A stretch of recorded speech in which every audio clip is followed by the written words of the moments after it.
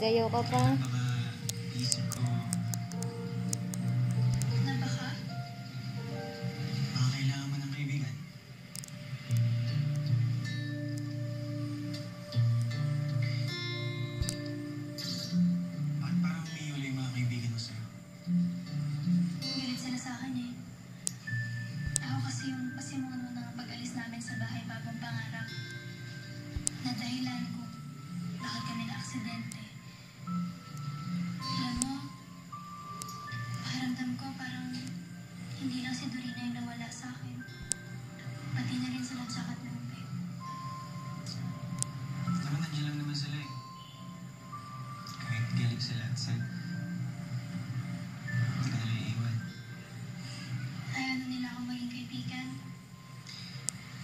sabi ng tatay ko,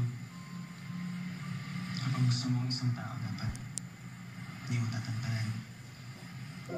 Kahit bastard ka. Eh, hindi ko sumuko yung tatay ko na lagi siya binabastard ni nanay.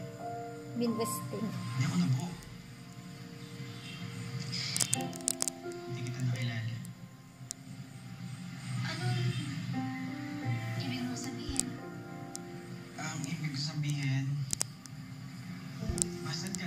sila sa'yo. Pero sorry naman yung tropa niya, di ba?